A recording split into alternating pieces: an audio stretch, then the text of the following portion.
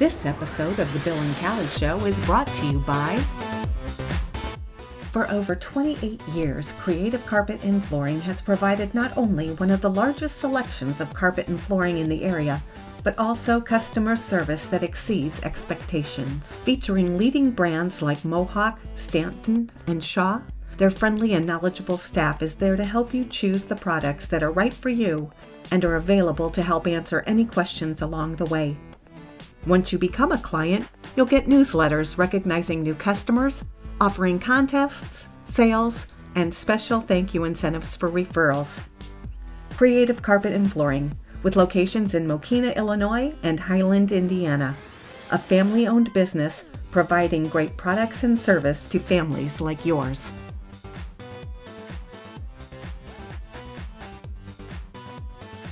Hello, You're, we're coming to you from the new Bill and Kali Show Studio A at the Executive Suites 2 here in beautiful Hammond, Indiana, overlooking the 8094 Expressway. So, uh, welcome to right the show. Right at the Kennedy Exchange. know? Right, right near the We Kennedy know Exchange. Exactly where. And uh, with us today, we have Jessica Castillo, who is a teacher at the Hammond Area Career Center. Jessica is here to talk about some unique programs that she teaches out of her class. So, welcome to, and actually, welcome. to this day is are going to be the, some of our first shows coming out of the studio. So, what do you think? I think this is awesome. Uh, Thanks. w- We like Absolutely it. Is that view? It's beautiful. Yeah. Beautiful. Lovely. Yes, it is. It's we're very fortunate to be here. But uh, welcome to our show. We're so happy that we're able to have you as one of our first guests in this Thank beautiful you. I studio. appreciate that. So, well, let's uh, talk about um, your classes. Okay. Um, I teach at the Career Center. It's in downtown Hammond. It's um, over by the Civic Center. We are a dual, uh, dual credit program, so we partner with Vincennes and we give kids the opportunity to gain an associate's degree through Vincennes before they even walk out of high school. Um, this year, we So have degree or certification or something from Vincennes. Wow. So they How all get to sign. that? They're doing an official signing day, March. It's in March. But it's an excellent opportunity for kids. It, it truly is, and I'm jealous because I wish I would have had something like this. Yeah, Yeah. that's what we Um, were just saying before we started recording, how I wish I could have done that. It's it's absolutely amazing, and and these kids are so smart. They are so intelligent, um, and you can tell they truly are invested in their education, which helps us teachers out a lot. Um, we have all kinds of different programs. Um, it, the kids get their uh, general courses, and then they have the option of going into what we call CTE or career tech ed uh, classes, which are criminal justice, uh, health sciences, computer science. Um, and they have the opportunity to gain their associates kind of that route, which is pretty neat.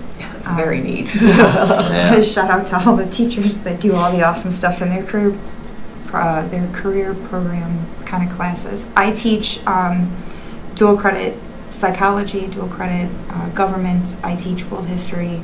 Um, I've taught kind of everything.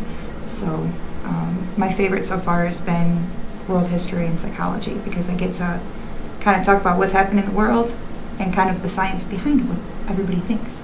So it's kind of neat. Yeah. And some of these unique programs you have out of your classroom that you've pretty much uh, lit up some students that we've heard about um, are related to history. Yes. Um, one of the programs that I do in my classroom is called National History Day. Um, it's a program that the state of Indiana, the Historical Society, puts on every year. Students get together, they can create, it's kind of like a science fair, but for history.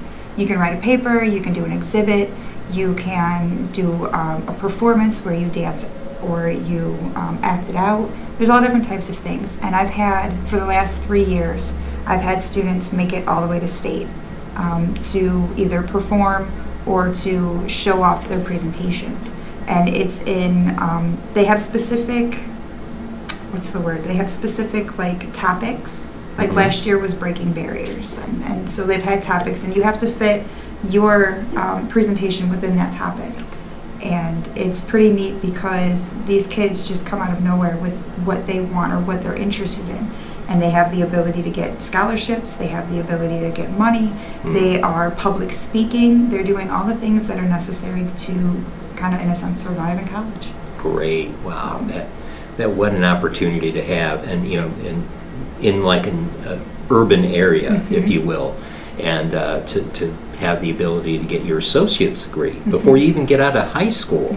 Well, Oh that's wow! so phenomenal. I keep track. I, I have a, a separate page on my Facebook that I keep for um, for kids that have graduated because I'm still close to a lot of them. I don't treat them as just students; they're my kids. So when they come in my classroom, I say I have 300 something kids because that's just what it is to me. Um, but the ones that I talk to, they're still continuing their education. I have one Mm. girl who, after she graduated, walked in almost a junior in, in college after the amount of credits. I have another kid who's down at Purdue um, in nursing. He got a direct admit to nursing. And I mean, these kids, they don't just end it here. They go on, and you know they want to be something Yeah. big. See, most of my teachers said by the time I was a senior in high school, I Good luck. was a No. third grade education. See, and I No. Good luck with that. I can't do that. uh, no, no. But oh man, what a tremendous! So th- this relationship you have with these students is they continue to be your kids, Mm-hmm. your students, beyond their uh, secondary career. Right. What an awesome, Yeah, I have awesome kids that, that have been gone three years that still get a hold of me and say, "Hey, look at my grades. Look at what I'm doing. Look at all this cool Oh, stuff." great. Yeah, it's neat. It's Yeah. neat, and I take that part of my job like really seriously. Yes, you do. Yeah. Because I mean, at the end of the day, these kids need somebody, regardless if you're a teacher, or if you're a friend, or whatever. They, they need somebody to go, hey, look at It's always nice to have somebody in your corner who Right. you know is back there really cheering you on. I I had that's teachers in my corner. I went. I graduated from Morton in 2004, Hmm. and I had teachers in my corner that that backed me up and they took care of me and they treated me like I was one of their own. And that's where I realized, okay, you know what? If I'm going to be a teacher and I'm going to do this, I need to do the same. Yeah. right. And yeah, it's something that, uh, and, and we'll get to your programs in just a bit, but we feel like we're cheerleaders here cheering for teachers because Yes. they need Yeah. cheerleaders. Yes, they they really seriously do uh, because they get into it, not sh- obviously for not the pay, because look what Right, the pay exactly. is, Right. but they get into it because they believe in teaching and they believe in our future. Passionate in and- doing those things. Oh my gosh, and so many kids that come in with problems come in uh, because maybe their home life isn't great, Mhm. but yet they get an awesome teacher like yourself and things change for them. Yeah. All of a sudden they view hope in their future. Sure. They Mhm. view, my gosh, I'm going to get out of here with an associate's degree. Oh my gosh, this university just accepted me. I can possibly get a bachelor's degree, and I'm the first one in my family Yeah. to get a bachelor's degree. Boy, I, hats off to you and, and your profession. And all the teachers, Yes, yes, who I- do an amazing job. And, and a lot of our kids that come through the program, they are first generation. Hmm. and they get to stand up in not their regular high school um, cap and gown. They get to stand in a Vincennes cap and gown. Oh, they get to say, How "Look at what I've cool. done. Look at what I've accomplished. Look at me, I got an associate's degree. Whoop, Right? Ah, Yeah, I mean- I'd be all over that. Yeah. That is so great. I, It and is. That, uh, you know that they Vincennes has partnered with uh, Yeah. the school district to make this available. That's awesome. Um, so let's get on to what you do in your classroom. Oh, do. a Because you've bunch been recognized Yeah. Yeah. for all these programs and things that you've Yeah. initiated, and we love that. Um, in other places than the Bill and Kali show. That's true. Yes, the Times. Uh, no, The um, the Times. Just Nice But- try.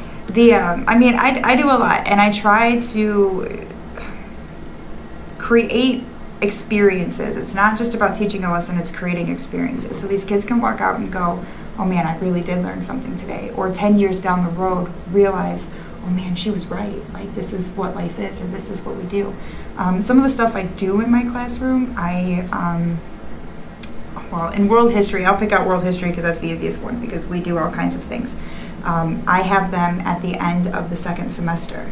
We, they do a project, and it's been between um, genocides. So we, they do an exhibit, and they have to use 500 words and pictures. And what they have to do is they have to describe um, a genocide, and um, you know you have there's there's many to choose from that most don't talk about. Um, and when these kids get into it, you can see how it affects them and how they how they feel about it. And and you can tell that they they don't like it and they're not comfortable with it. And sometimes we have to go out of our comfort zones to understand why these things shouldn't happen. And so with those exhibits i mean these kids they present them. They again they only have 500 words, so everything else has to be by mouth. Mm. And so they, you know, they engage in public speaking in my room, and it, I mean, it's it's worked for the last couple years. These kids have really gotten a lot out of it. So uh, some of the things that uh, the Holocaust, Yes. and uh, then in Africa, some of the areas in the Africa where Rwanda, they're Darfur. yes, where uh, Mhm. third world countries where they tribes try to uh, eliminate another tribe, which is classified as genocide, and the brut- absolute just brutality. Mm-hmm. Um, and so that kind of brings out an awareness, doesn't Mhm. it? A, another layer of awareness that Right. they view and they look back at what's going on in their own environment and Well, even governments in some new level. countries, you know, Right. come Yeah. in and start wiping out people. Well, I mean, Hitler and, and, and the Jews. There were Yeah. people who had mental uh, illness or people who had uh, physical Mhm. issues.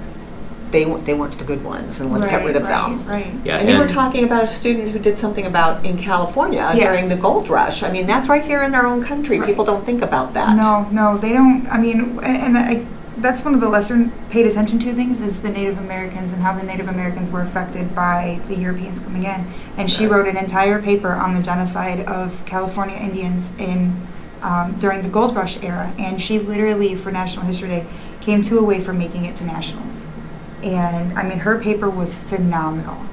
Um, but I didn't ask her to write that paper. I didn't tell her she had to write that paper. She chose that topic based on that project that we had did in class her previous year. She was a sophomore, or I'm sorry, she was a junior when she wrote this paper. So Now, what is uh, what does some of their presentation involve? Do you require them to use technology? Do you you know are the, what are your guidelines for them for their We're- presentation? We're a one to one school, so each kid gets a Chromebook and each kid has the opportunity to create presentations like that. I like to go old school with this and I make them, you know, do the exhibit boards. I buy the exhibit boards and I give them to them and I tell them Mhm. you have to find your pictures, you have to figure out what words you're going to use, what quotations you're going to use, and how you're going to put it out. You need a thesis statement and everything. And so I go old school, but most of the time in my classroom, yeah, I do use technology. Yeah. Well, the other thing you have to be aware that even though they do have a Chromebook, um, a lot of times maybe they don't have access to the internet at Right, home and right. some other applications. So it's nice that you have that awareness to give them this meet, and they still get something out of it. I mean, they still get the, you know, uh, uh, by putting it on a board is, you know, although. You know, I guess technology does play a role, Mhm. but you know, so that's amazing. So it's it's um, the poster board, and then they present that way. I assume they do a speech. and- Yes. And I mean, I've taken it real old school, and the library is like five minute walk down from us. So I've Oh taken them all the way to the library, and I said, "Look, I want you to go through, and I want you to find a book that relates to your topic, and I want you to look through it and find something relevant for your exhibit." All the librarians out there are just like cheering Yes. right now. Yes. I have a teacher It's that called the let- Dewey Decimal System. we had to do it. We had to do it. Sure. We had to Yeah. go to the library and we had to research. And maybe one day there won't be that opportunity. They may not have a computer in front of them, and they have to go. Oh my God, what do I do now? Yeah, how, how do I find You it know, out? It's like there's no Google. What happens next? Yeah. You know. Well, Media Center brings in a whole new layer to your classroom because you all of a sudden have someone, if they have a question about citing a reference and Mhm. validating that reference, which students always, you know, if you talk to any librarian, they're, they're absolute sticklers about this. Mhm. And so, you know, getting them into that media center or library is, is a valid resource. sure. So, uh, that's great. Uh, so, uh, talk about some of these projects. Like, can you give examples? I had one student do the um, genocide in Asia, and it's one that's not really talked about. Um, he went above and beyond. He, he absolutely loved history, so it was right in his you know his path. He was he loved it, um, and he did a probably 15 minute speech. He went from the beginning of how the government played a role to how the people played a role.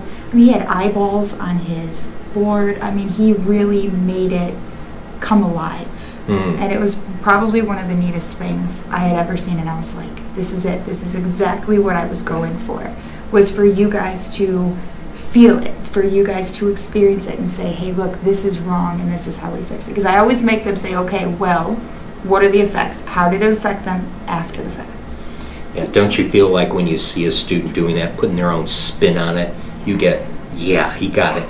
In the back of the room, I'm like doing a happy dance because it, it, it works. And, and as much as people think that teenagers don't care about stuff, because we all know teenagers can be cranky, I deal with them five days a week. Um, but they, they care. They Mhm. care. They have empathy. They, they see it from a different perspective than we do. And when they bring in their own opinion or their own perspectives, it makes us just happy. I'm so glad to hear that word empathy out of you because that's something that people glass over in education, and but it's sorely needed. You know, mm-hmm. oh, because the Yeah. interaction, especially, and that's, it, you know, there's one thing to speak about technology, but that's one of the dangers in technology. Mm-hmm. People s- are starting to get, I guess the word is numb, Yes. and empathy Yeah. is something that I think we all need to work on in, in everyone's lives because it's just not, oh, look what he put on Snapchat. Well, Yeah. no, Yeah. no. it's it goes much deeper. Well, than that's what that. I like about they have to get up and present Yeah. and Right. do public speaking because everybody is into let's text everybody. Yeah. You don't see anybody face to face. You're not actually speaking words. Right, right. And that's the greatest thing about being face to face with somebody. You can read something Mhm. and interpret it in many different ways, but by listening to how the person says it, you know where they're coming from and you see were they angry when they said it? Were they happy when they said it? Were they joking around? Right. You don't you can't always get that on a piece of paper. Right. There's a different context to the way people speak as opposed to the typing. And I find it important. I mean, and again, you're going to have to take a public speaking class in college. You're going to have to talk to human beings. You can't just text your boss and tell your boss, hey, I finished the job. Like, you have to interact with people. And so I told my students, especially my freshmen when they walk in, I tell them, you're going to talk two times this year. You're talking the first semester, you're going to talk in the second semester. So by the time you get to the second semester, you should be prepared. Hmm. And because I have a lot of kids that are terrified of public speaking. Oh, sure. They are scared to death because they've had that computer or they just don't feel comfortable talking to people. So I start off with, when we talk about the Industrial Revolution, I have them do a commercial. So I have them pick a um, specific invention and I make them make a commercial. And they use this thing called Screencastify. So oh, it's Oh, them facing their computer and they can do it. And I mean, I've had some wonderful commercials come out of kids that don't speak a word in my classroom. So I think it's helped them, and the more that we can get them comfortable in the classroom with talking, the better off they are by the time they hit senior year and they graduate. Absolutely. Yeah, definitely. Because So- as Kali could tell you, as soon as that red light starts blinking on the camera, I get. It's- I, I was nervous coming in here. oh, you shouldn't. Now they No, were we're all nervous. chill. Here we are. Maybe some big fancy digs that were. But what a now, fun way to learn chill. too. Yeah. You know, is by Yeah. making up your own little commercial and things. Because I remember in high school, my dad saying, "If you could memorize your homework as well as you memorize the commercials and the theme songs to TV shows, you'd be a genius." See, I grew up in a sports kind of like my grandfather raised me on sports, and so that was my thing was numbers and football and, and all that. So I guess that kind of helped me learn to take the things that these kids are interested in and apply it to the classroom. Absolutely. Because then, you know, I mean, I talk about basketball all the time, and so I reference that using statistics or using whatever to get them like, oh, hey, wow, this is awesome. So, So what was what is the and don't have mention names, but uh, um, what was the one presentation from a student that you just sat back there saying, "Wow"? Wow. So That's many. Your wow one. moment That's as a tough teacher. one. Well, I, yeah, it sounds like you got a bunch of great I- I I students, know. so it's Yeah. got to be I was going tough. to say you Um, probably couldn't pick one. I had I had a um, a student in this.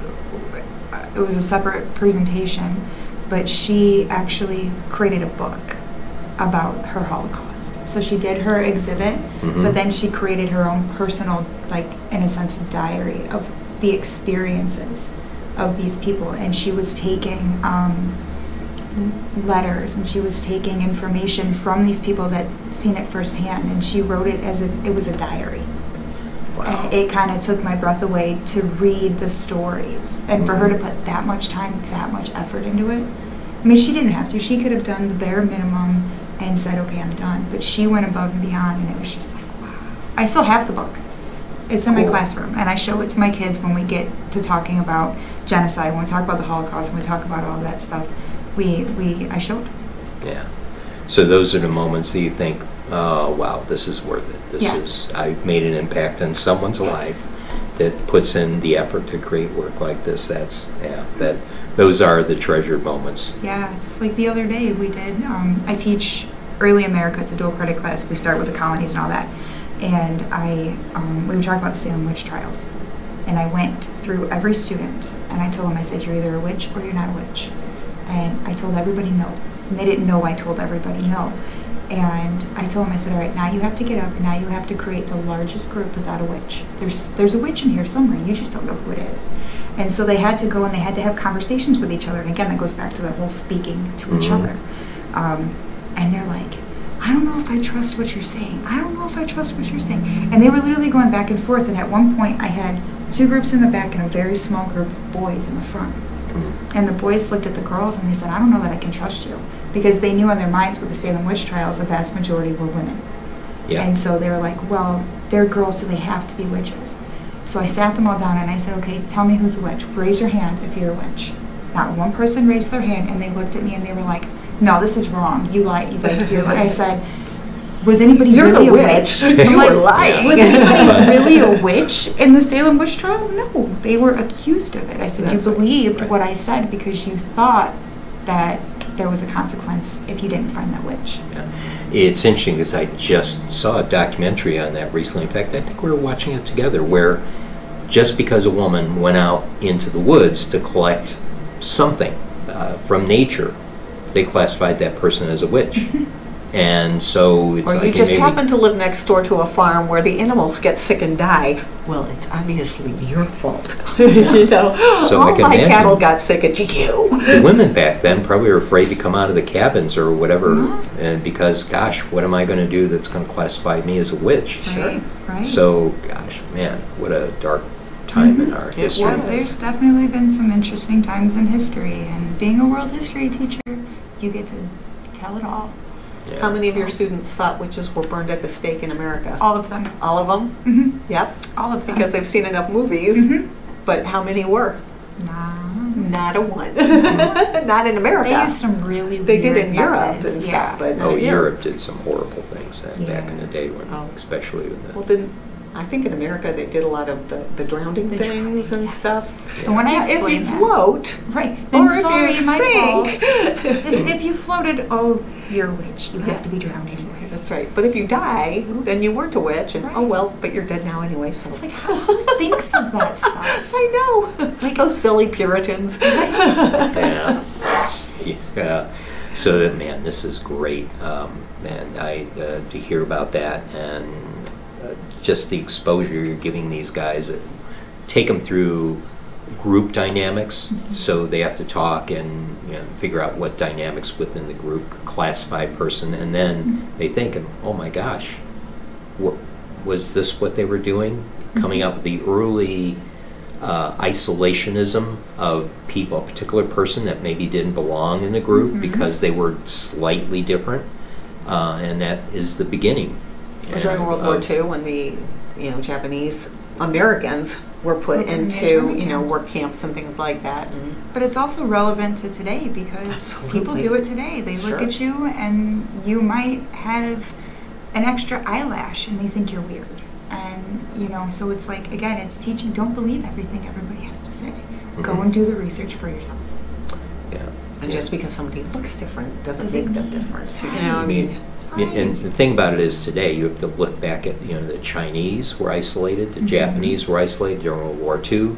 Uh, Irish were definitely discriminated Oh, sure, against, yes. and you know, and and this is something else that you know I look back my family history. There were um, you know there were health issues within the Irish that were predominant, like seizures Mhm. and epilepsy in the Irish. And they thought, oh, he's just drunk. You know, they'd find this guy Right. laying around, and so, uh, boy, um, but you look now, some of these people are running large, you know, the, that ethnic group is running large corporations, but, Mhm.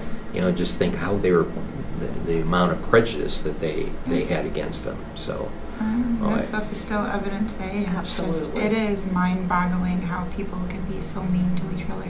Right. Now, when you do these presentations, when the kids have to come up with all their things and it's the day that they're all just like, is it open to the public? I mean, can Yeah, people yeah. come and see? Um, I've been trying for a while to get a night where I can get parents to come in and listen. We did a living wax museum one time where um, Oh, and we love did it during yeah we did are it during fun. open house. So all these parents were stopping at these kids and pressing their hand until they were talking and stuff. And I'd love to do that again. Yes. Um, but yeah, I'm, But I mean, I'm can like the average Joe Blow like me come and see these cool things that these people have worked If so hard on? If it's a night after school, yes. Um, otherwise, I think we require like 24 hours notice before. No, but I mean, you should have a night where Yeah, it's no, open, I- where the public can come and see I all this totally cool stuff. agree. These kids are working so hard, and it would be so educational because even people my age, because I'm old, Mm-hmm. um, you know, they they want to come and see this. I mean, they'll Yeah. probably learn things that they didn't learn back in the day. I might have to um, talk to my boss. Please do because we would love to tell people Yes. go over there and see all this cool stuff. Yes. Talking about your boss, we better start thinking about wrapping things up, or else Oh there yeah, may you got to be get back uh, to school. there may be an administrator that doesn't look at the Bill and Kali show as such a positive light. Well, we thank you so much Well, for coming you. out and sharing this and letting people know that there are such amazing teachers Aw, out there who you. really care about their Definitely. students and are passionate and so and uh, these are the there and pay people that more. really have a way of molding our future. Uh, they're They the do. ones that have the kids, and, and our society has changed so much Mm-hmm. in that teachers even have a more of an impact because Oh, yes. both parents are now working, or the one parent is working, and so they don't get to spend time with their kids the way they do. And that teacher, uh, I don't want to scare you by but it is the adult that they see most of during the day. That's right. And um, you know, so that there that, that level of appreciation is definitely weighing heavy on our hearts here at the Bill and Kali Show. Absolutely. And, uh, we appreciate so teachers we very appreciate you coming on Thank and you. sharing Thank all so this much. neat stuff with us, and uh, that's great. Awesome. So with that, do you want to share anything else with us before we go? Um, I would like to know where you grew up and where you went to school. I was born and raised in Hammond. I'm a product of St. Catherine of Siena, K through 8, and then I went to Morton High School till graduated in 04. Uh, stuck around here for college, went to Cal College, went to Purdue, got my master's in history. Shout out to Professor Lerner because he's the reason why I do a lot of what I do See, in my classroom. again, another teacher who Yeah. I took an mean, undergraduate Holocaust studies class with him, and I, I mean, he didn't teach it from the typical, um, like, you have to timeline this and you have to, you know, it's all the German side of things. He taught us the Jewish side of things and, Mhm. and how the Jews rebelled and how they felt and their experiences. And it caught me because in high school, all you hear is the timeline. uh-huh. And so you go and you hear something different. You're like, man. And so then when I went back for my graduate, uh, for my uh, master's degree, I took his class more than once. And I'm like, let me learn everything I can learn about this subject. And so I went on, I ended up spending four days in Washington, D.C. at the um, Holocaust Oh, Museum there, yeah. with the Belfer Conference. Spent days there, went back. I just took my daughter and her class trip back there. And they kind of huddled around me and was listening to everything I had to say to my daughter. They're like, how do you know so much? Because I'm a teacher. That's yeah, right. that's right. So Have you taken your kids up to the one here in Not Chicago? yet. I'm Not working yet? on It's getting really a cool. Saturday, Oh, um, man. A Saturday Yeah. field trip to go. Yeah. I tell you what, it. Kali and I went up there recently, and it it's it's an amazing facility, but it also makes you sick. Yeah. There, you get so much granular detail Mm-hmm. about what when happened and the tipping points that you know, uh, and that is not shared in history books necessarily, and. Um, Even oh, more boy. so if you go to Europe and you actually go to the Yeah. places Yeah. where they were at. And there's one I've thing we're going to have to go back and see. That's the um, virtual Holocaust yes. survivor Yeah. exhibit. That's Yes. something that we weren't We able to wanna get into, and we've got to get back in. I've had the privilege of meeting three Holocaust survivors. I met Eva Kor. Right. Um, I met another Oh, man love in her. D.C. named Henry Greenbaum, and he was able to sit and actually tell us his story, and I cried. And I, it was uh, it's when you go to the Holocaust Museum in D.C. They give you those little um, cards to open up and read. Mhm. I ended up getting his card. oh my gosh. And um, we had, I had, uh, not too long after that, I had taken my class and we all sat down and we watched a webinar where they were um, doing Holocaust survivor stories. And the kids were asking questions, so we were typing the questions in and they were answering our questions. They answered a couple of our Oh, really questions. It was neat. Um, but yeah, no, I, Yeah. Well, Thanks for being an awesome yes, teacher. Thank, Thank you. you. Thank you. It. And thank you for enlightening the, the group of students that you Yes. work with because uh, it's much needed. And thank you for being a teacher. Yep, Thank you. Absolutely. Thank you. And uh, with that, we'll go ahead and close out the show. And again, we want to thank the Executive Suites 2 for making this the Bill and Kali Show Studio A possible.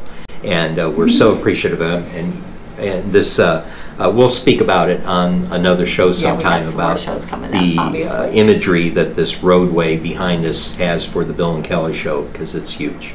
So with that, we'll close out the show and say goodbye for now. Bye. This episode of The Bill and Kali Show is brought to you by.